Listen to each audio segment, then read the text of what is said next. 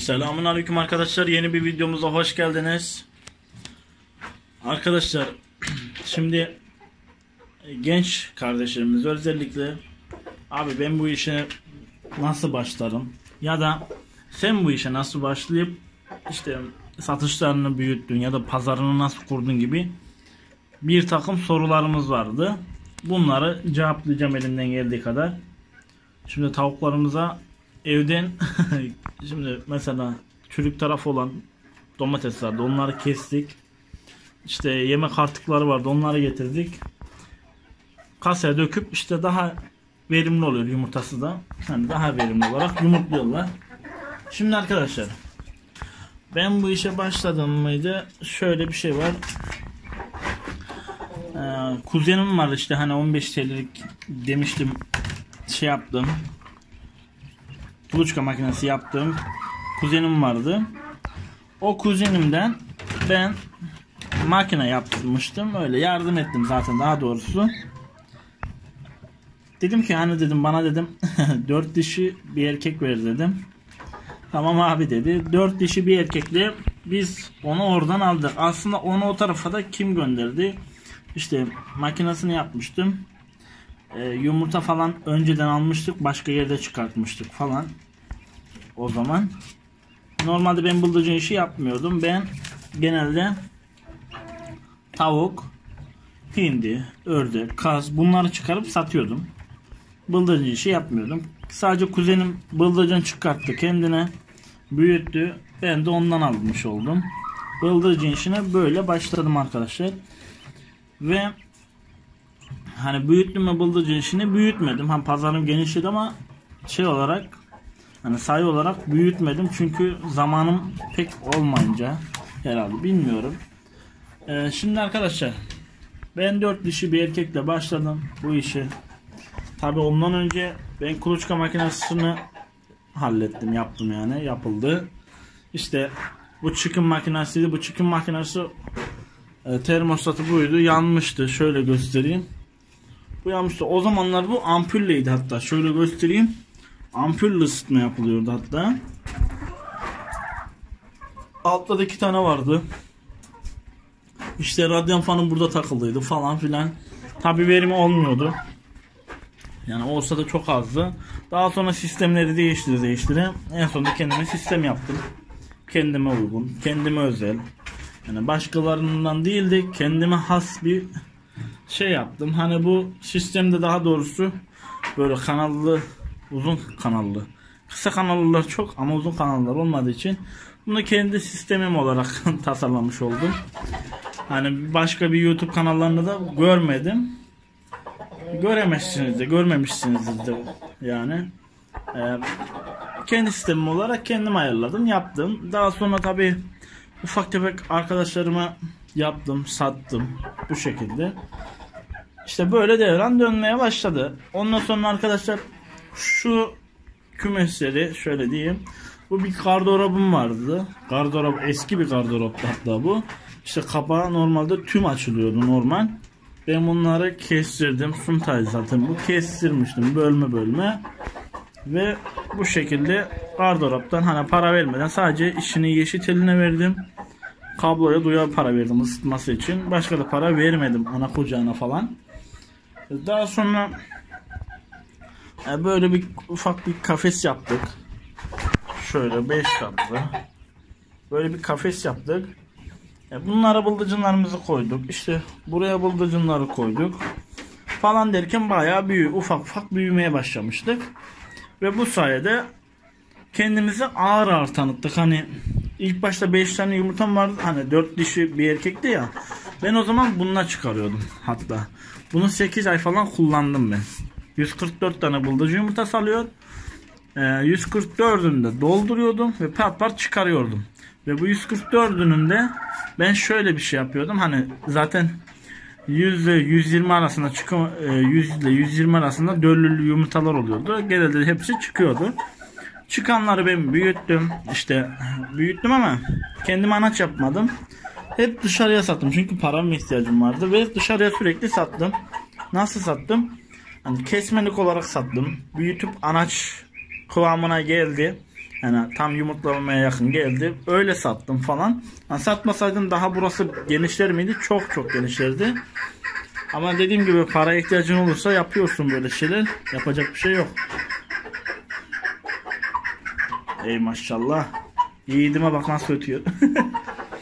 Şimdi arkadaşlar bu şekilde benim aylık kazancım işte ortalama e, çünkü her 15 güne 16 güne bir çıkımım bitiyordu ve benim böyle hani tam büyüttüğümden sayı büyüttükten sonra aylık kazancım işte 800 1000 lira arasında gelmeye başladı. Çünkü büyük olarak sattığım için tanesi 10 lira 15 lira gibi bir fiyata satmaya başladım ben.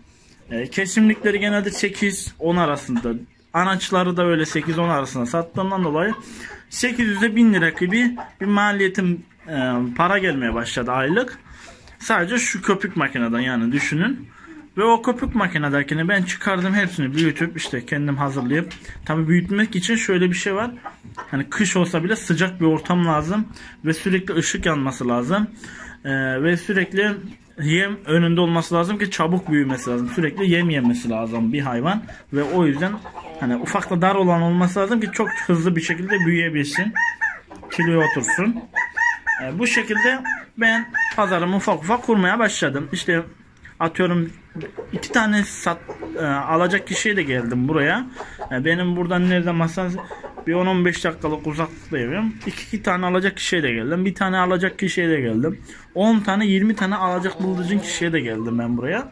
Ve böyle böyle ufak ufak pazarım artmaya başladı. Tabii ki hayvanların sağlıklı olması da buna bir etken oldu tabii ki. E şimdi arkadaşlar hal böyleyken ufak ufak biz de büyüdük. E, tanınmaya başladık. İşte birçok kardeşimiz de özellikle dışarıdan ben Bak. Lan dur tamam tamam. Ey tosunum be. At be kim tutar seni. Maşallah. Bir maşallahınızı alırım eğer buraya kadar videoyu izlediyseniz arkadaşlar. E şimdi hal böyleyken de e, birçok arkadaşımız da dediğim gibi kuluçka makinesi sormaya başladı. Yapımla ilgili bilmem neyle ilgili. E, ben de dışarıda YouTube'da çok araştırdım. Ve sürekli yanıltıcı şeyler vardı. Hani atıyorum e, fanı koyduğu yeri söylüyor ama ısıtıcı yeri söylemiyor. Ya da ne bileyim ısıtıcı yerini söylüyor, fanı söylüyor ama püf noktasını söylemiyor gibi ya, dengelemek için. E, bunlar çok sayıda gördüğüm için ben de kendi şeklimde, kendi tabirimde makineyi güzelce anlattım sizlere ve bu sayede yani şöyle söyleyeyim. Benim sayemle onların emeğiyle el işinin sayesinde şu anda bu işi yapan kardeşlerimiz, abilerimiz de var yani. Hatta e, birçok kere mesaj açıp arayan, hal hatırımı soran kişiler de var. E, şöyle diyeyim, e, bir eksiğim varsa gör diyen kardeşlerim oldu yani. Abilerim oldu. Ve bu sayede tanışmış olduk. Bu şekilde büyüdük arkadaşlar ufak ufak. Tabii ki şu anda bıldırcınımız yok. Bıldırcınımız olsa eminim ki şu anda benim 250-300 anacım olsa bıldırcın yumurtasıyla anaç yani civcivini satacak pozisyondayım şu anda ama hani benim zamanım olmuyor şu anda yani düşünün e, bir zamanım işte belli aylarda oluyor ve belli aylarda ben kesmek zorunda kalıyorum mesela sürekli ben haftada şurada biliyorsunuz e, bu makineden özellikle 3 e, 3-4 güne bir ya da 5 güne bir sürekli çıkım alıyordum. Ve bu çıkımları sürekli 2 gün 3 gün kalmadan ve gönderiyordum. Hani her çıkımımda benim yaklaşık 200-250 arası en düşük 150 olmuştur.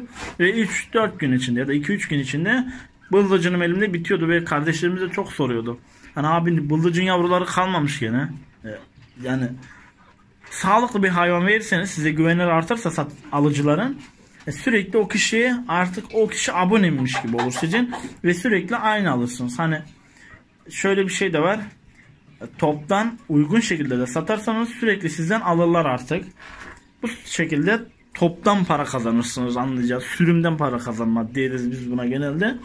Sürümden bu şekilde para alabilirsiniz. Mesela atıyorum e, A şahıs 100 tane bıldırcını aylık zor satarken siz 500 bıldırcını uygun fiyat verdiğinizde ondan daha çok para kazanır ve ondan daha çok satarsınız. Ve sizin sadece aradaki farkınız 100 150-200 lira gibi farkınız olur düşürmüş olduğunuz yani atıyorum çok büyük bir e, mevlada bıldırcın sattınız en fazla sizin 150-200 lira zararınız olur.